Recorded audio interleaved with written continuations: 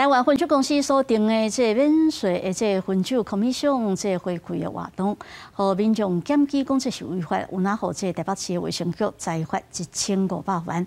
啊，这分酒公司才不好，怎啊去拍这行政诉讼？即马法院判讲，这个唔免罚，这个代志是确定的。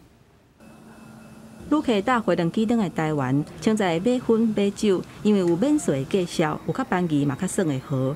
毋过，有民众检举讲，台湾烟酒公司透过活动违法宣传，促销甲鼓吹大家买烟。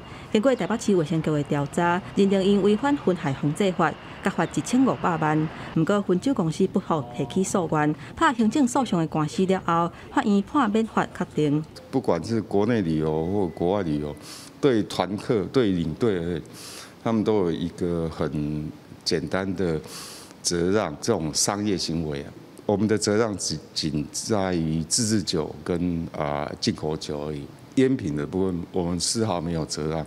分酒公司一百零四年定出免税分酒佣金回归的活动，发文和旅行业工会，旅客只要伫出入境的免税店买烟买酒。导游甲领队就会当抽空上引起争议。不过高等行政法院认定讲，活动要点明定讲买烟无拍折，卫生局嘛无法度证明讲导游有推销鼓吹旅客买烟食烟，甚至有甲因拍者等等的行为，所以撤销原本的处分，卫生局爱甲这一千五百万行印。那主要是说，在这个市政的部分应该要更具体，好，所以这部分我们也尊重法院的一个。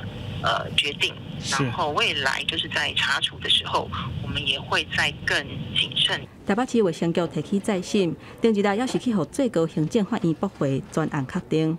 卫生局表示尊重法院的判决，不过未来针对类似的情形，调查会更加详细、更加周至，避免阁有事情不足的情形来发生。记者综合报道。